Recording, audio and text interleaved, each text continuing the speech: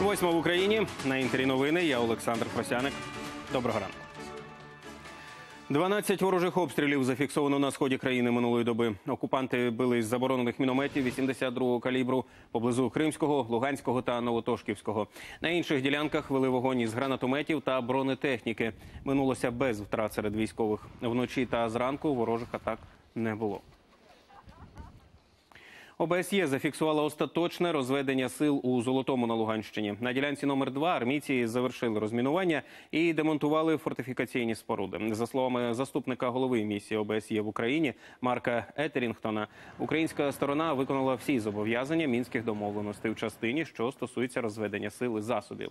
Спостерігачі запевнили, розведення було дзеркальним, тобто відвели війська і незаконні збройні формування. Інші питання щодо розведення сил вирішуватимуть на нормандській зустрічі 9 грудня, зазначили в ОБСЄ.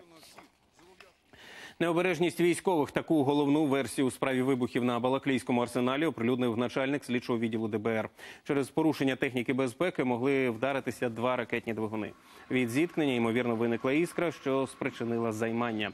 Слідство ще триває. Нагадаю, 15 листопада під час планових робіт з утилізації боєприпасів у Балаклії сталося кілька вибухів і пожежа. Загинуло троє саперів, і ще троє зазнали поранень. На сьогоднішній день розглядається декілька версій, допитано більше ста людей на сьогоднішній день, але е, ми схиляємося до того, що це основна наша версія, що все-таки ті особи, які безпосередньо виконували роботи е, з цими боєприпасами, вони якраз і причетні е, із-за того, що не виконували техніку безпеки під час такого виду робіт. Півтора мільйона еврів за місце у Верховній Раді у Києві. Співробітники СБУ викрили злочинну групу, яка намагалася продавати місця у списках парламентських партій, якщо хтось із депутатів нинішньої каденції складе мандат. Зломисники обіцяли влаштувати бізнес-вумен з Полтавської області до списку однієї з партій, які пройшли в парламент. Шахраїв затримали, коли ті передавали першу половину суми 750 тисяч еврів. В Одесі набу затримало 10 людей за порушення митного законодавства. Серед них сім митників. Про це у Фейсбуці повідомила прес-служба бюро. Усім інкримінують зловживання службовим становищем. Серед підозрюваних заступник голови київської митниці Сергій Тупальський, який з грудня 2018 по березень 2019 виконував обов'язки начальника одеської митниці. Про обшуки у власному помешканні на своїй Фейсбук-сторінці зранку повідомив сам Тупальський, проте в рамках якого кримінального провадження не пояснив. Більше інформації набу обіцяє оприлюднити після вручення підозр усім фігурантам справи. Нацполіція в результаті масштабної спецоперації викрила синдикат наркоторгівців. Вартість вилучених наркотиків близько 25 мільйонів гривень. До операції були залучені майже пів тисячі співробітників поліції та прокуратури. Затримали двох організаторів. Один із них чинний депутат територіальної громади та 17 учасників злочинної групи. Вилучили понад 46 кілограмів наркотичних засобів і психотропних речовин. У Світловодську Кіровоградської області досі немає тепла у квартирах. І ще в неділю ситуацію в місті було визнано надзвичайною. На вулицях 40-тисячного міста почали облаштовувати мобільні пункти обігріву. Причиною стали численні пориви тепломереж. Місцевий приватний теплопостачальник їх ніколи не ремонтував. Тепер лагодити систему приватникам допомагають комунальні служби щонайменше з двох областей. Якою була остання доба у змерзлому місті, розкаже наш кореспондент Станіслав Кухарчук. Ледве стримуючи сльози, Надія показує, на що перетворилась її квартира за останній місяць. Через відсутність опалення у кімнатах та кухні стіни рясно вкриті грибком. Весь цей час жінка та двоє її діток користувалися обігрівачем, але через перенавантаження у квартирах вибивало електрику. Перегорів навіть насос будинкового водопостачання. уже двое суток. Сделать ее не могут, потому что ее начинают подключать. Вроде появилась, 10 минут свет прогорел и все. Опять все погорело. І така ситуація майже по всьому Світловодську. У місті з неділі запровадили стан надзвичайної ситуації техногенного характеру. ДСНС вже почало розгортати мобільні пункти обігріву. Цього їх шість. Розпалюємо буржуйку, вона горить постійно, обігрівається, хто за кому холодно.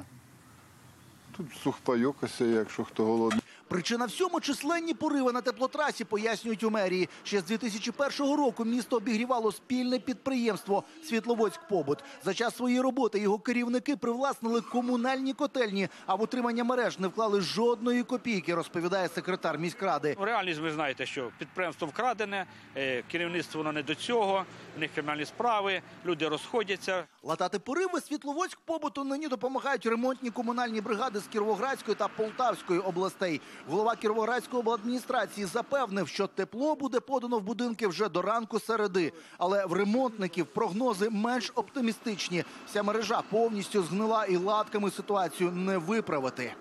скажем вот так.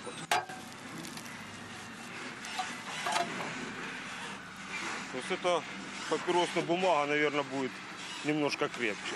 Через зрив опалювального сезону місцевій прокуратурі вже відкрили кримінальне провадження. Під підозрою міський голова, власник і директор Світловодськ побуту. Також слідчі розслідують і привласнення засновником підприємства п'яти комунальних котелень. Комунальне майно це частка 50% у статутному капіталі, яка відповідно шляхом реєстраційної дії та використання завідомо підробленого документу була протиправно відчуження. Чотирьом особам було повідомлено про підозру. Крім того, накладено арешт на частку 50% у статутному капіталі. Та від результатів слідства жителям Світловодська тепліше не стає. Комунальники виявили ще до десятка поривів на теплотрасі. Станіслав Кухарчук, Павло Тимошенко. Новини телеканал Інтер. Кіровоградська область. Кількість жертв внаслідок нищівного землетрусу в Албанії зросла до 22 осіб. Близько 600 постраждали. Рятувальники досі шукають людей під руїнами у містах Дурисі і Туман. Там трусило найсильніше. Албанці, чиї домівки зруйнували підземні поштовхи, мешкають у тимчасових прихистках. Їх створюють у громадських місцях, зокрема на стадіонах. Нагадаю, напередодні поблизу столиці Албанії Тирани стався землетрус магнітудою 6,4. За ним відбулася низка авторшоків по всьому західному збережжю країни. Невідомий лайнер порушив повітряний простір над Вашингтоном. Літак не відповідав на виклики диспетчерів і не подавав жодних сигналів. Військові підняли в повітря винищувачі на перехоплення. Територію довкола Білого Дому і Капітолію оточили. Частково евакуювали персонал і відвідувачів. За кілька годин надзвичайну ситуацію скасували. Що за чужинець пролетів над столицею США, не повідомляють. Сполученими Штатами прокотився шторм із сильними поривами вітру та небаченими досі снігопадами. Негода накрила південну Дакоту, Айову, Мічиган, Міннесоту і Вісконсин.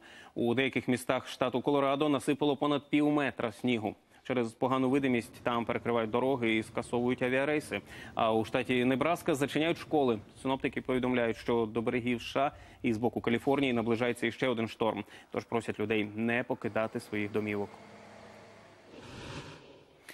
Туреччина вирішила продовжити військову операцію в Сирії. Про це заявив на засіданні Ради нацбезпеки країни президент Ердоган. Операцію джерело миру поновили через відмову курдів відвести свої сили від турецько-сирійського кордону. Нагадаю, 9 жовтня Анкара оголосила про введення на північ Сирії своїх військ із метою створення там буферної зони, яка мала би захистити турецькі кордони від сирійських курдів.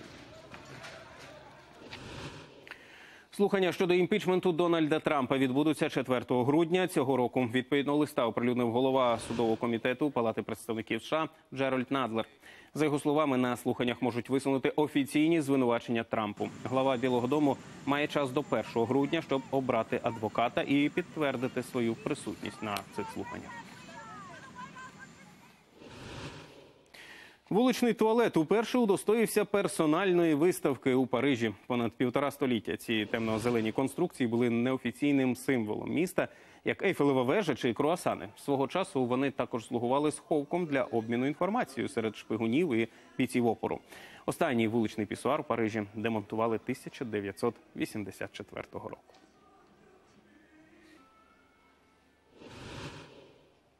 Ну і наразі це все. Більше новин буде у випуску о 9 годині. Тоді побачимося. До зустрічі.